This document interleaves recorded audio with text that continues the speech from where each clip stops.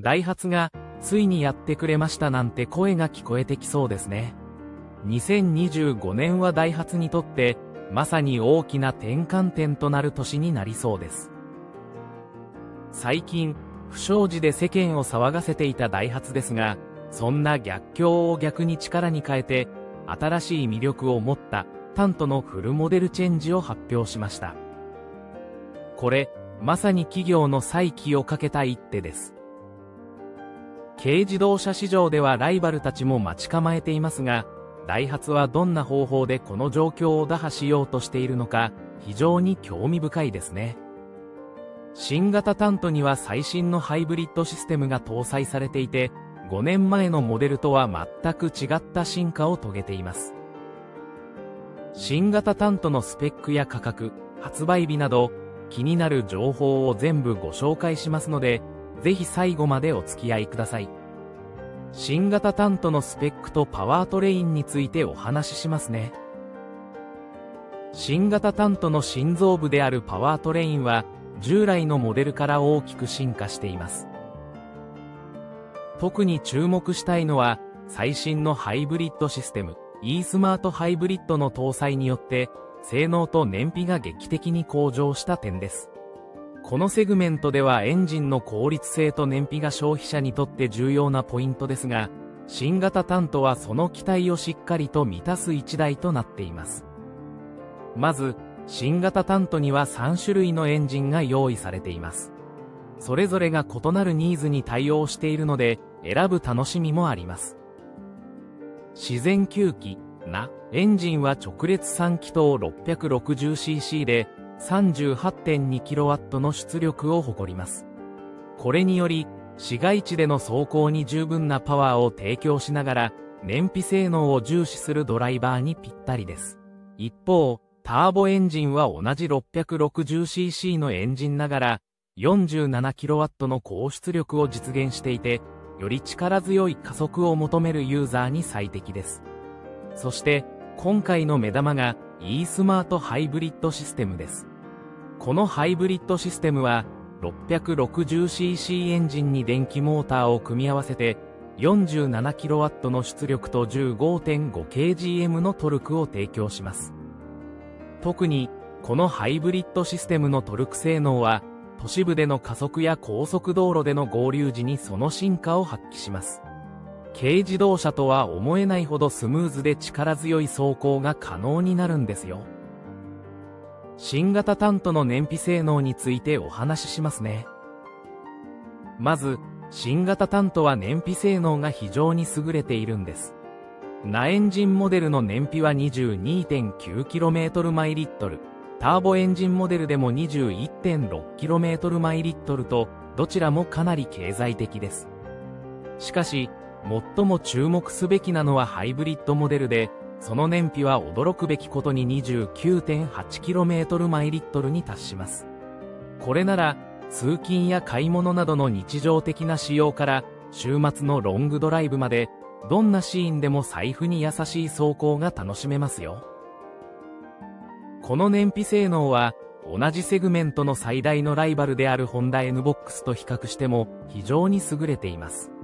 NBOX も軽自動車市場で大人気ですが、ハイブリッドモデルの燃費に関しては新型タントが一歩リードしているんです。具体的には、NBOX のハイブリッドモデルの燃費は約 27.0km マイリットルで、新型タントの方が少し優れています。新型タントの外装についてお話ししますね。まず、新型タントの外装を一言で言うと、宣伝と革新がキーワードです。現行モデルのボディ形状を踏襲しつつも、デザインは大きく一新されて、これまでとは一味違う洗練された印象を与えています。特に目を引くのは、タントカスタムが廃止され、その要素が標準モデルに集約された点です。これによって、全体のデザイン性がさらに向上し、スポーティなクロームパーツが散りばめられた外観は、現代的でありながらもどこか上質な雰囲気を醸し出しています。さらに、新たに登場する可能性が高いアクティブモデル、ファンクロスが、タントシリーズに新しい風を吹き込んでくれることでしょう。ムーブのフルモデルチェンジでも見られたように、ダイハツはこうした新たな試みを積極的に取り入れ、ユーザーのニーズに応え続けています。もちろん、タントの強みである軽自動車規格を最大限に活用したデザインも健在です。特に、助手席側のセンターピラーレス構造を活かした運転席ロングスライドシートは 540mm もの前後移動が可能で、助手席も 380mm の範囲で前後に動かせるので、運転席から後部座席への移動が非常にスムーズに行えます。これ、特に小さなお子さんを後部座席に乗せるときにとても便利ですよね。新型 NBOX がピラーレスを採用していないことを考えると、タントには大きなアドバンテージが。さらに注目すべきはパワースライドドアウェルカムオープン機能とイージークローザーです。前者は車に近づくだけで自動的にパワースライドドアが開く便利な機能で、特に両手が塞がっている時にはその便利さを実感できるはずです。そして後者のイージークローザーは、重くなりがちなドアが半ドアの状態で止まってしまうのを防ぎ、自動的にしっかりとドアを閉める機能です。こういった細かい配慮が日常の使い勝手を一段と高めてくれることでしょう。新型タントの内装についてお話ししますね。新型タントの内装を一言で表現するなら、革新と快適性の融合という感じです。フルモデルチェンジによって内装デザインは全面的に刷新されて、まさに未来的なコックピットに生まれ変わりました。特に注目すべきは、新たに採用された大型インフォテインメントシステムと電動パーキングブレーキです。これらの機能は単なる便利さを超えて日々のドライブ体験そのものを向上させてくれます。さらに、タントファンクロスというクロスオーバーモデルでは防水加工が施されたラゲッジルームが追加されていて、レジャーにも対応できる仕様になっています。週末にアウトドアを楽しむファミリーにとってまさにぴったりの一台ですね。また、ピラーレスドアの開口部がさらに広くなり、前席のロングスライドがより使いやすくなっています。これにより、乗り降りが驚くほどスムーズになり、特に小さなお子様がいる家庭では、その便利さをすぐに実感できると思います。新しいデザインのステアリングホイールも採用されていて、運転中のフィードバックが大幅に向上しましたよ。オプションで10インチの大型ナビゲーションを選べるほか、標準装備の9インチディスプレイオーディオもワイヤレスで Apple CarPlay に対応していたり、有線接続で Android Auto と連携することで、さらに快適なドライブをサポートしてくれます。さらに、ダイハツコネクトを通じて、マイカーに関する様々なサービスにもアクセスでき、車との新たなコミュニケーションが楽しめる時代がやってきました。快適装備として見逃せないのが、電動パーキングブレーキやオートブレーキホールドです。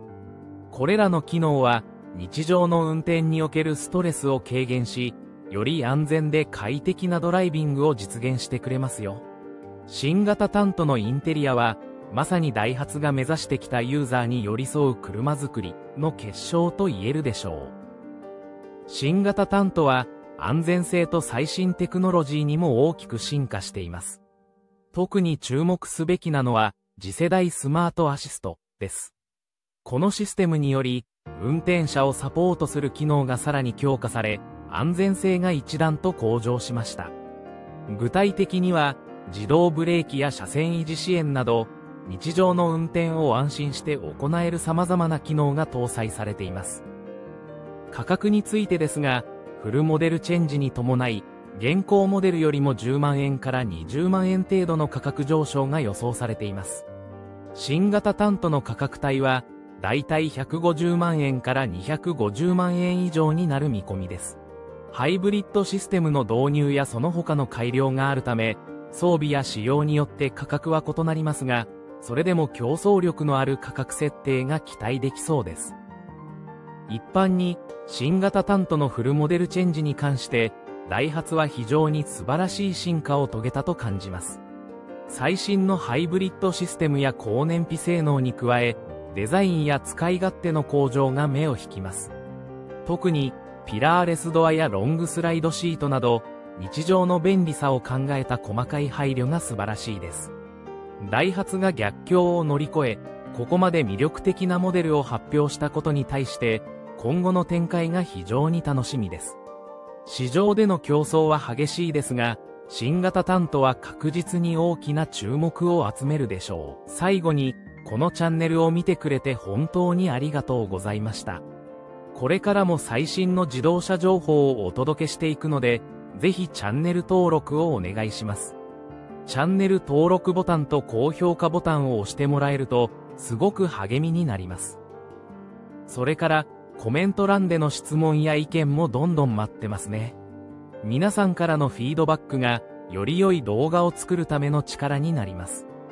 次回の動画も楽しみにしていてください。それでは、また次回の動画でお会いしましょう。